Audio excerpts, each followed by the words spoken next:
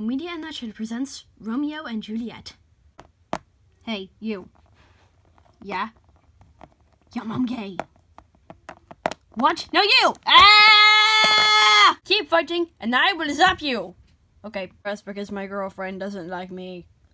Let's go to a party and find another girlfriend. Okay. Hi, can I marry your daughter, please? But she's 14. I don't care. Me what? Mm, okay.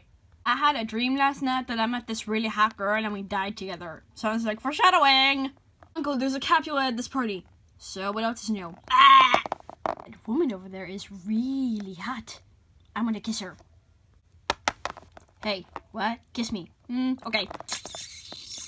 She's a Capulet?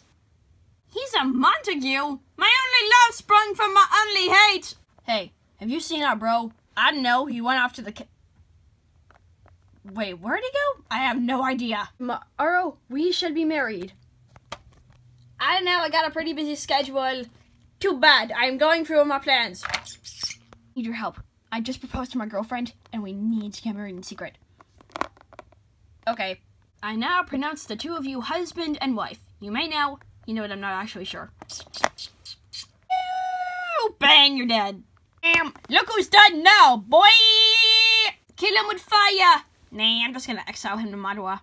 Remember me, please. You are gonna get married to a hot boy and you are gonna like it. But I'm already married to a hot boy. Ah! I need to find a way to kill myself without actually killing myself. Hmm. Tonight, you should drink it and you should be dead, but not actually dead.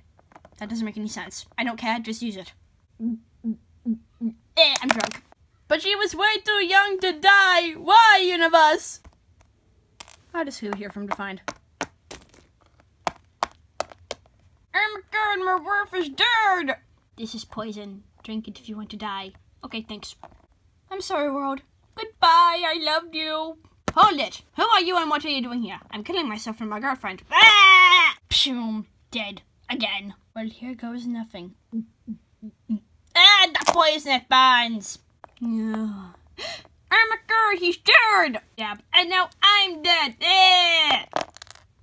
All are punished! Wait, who is all? That sounds really vague. And that was Media in a Nutshell, Romeo and Juliet. I hope you enjoyed. Just to be clear, even in the afterlife, your mom is still gay. No, you are.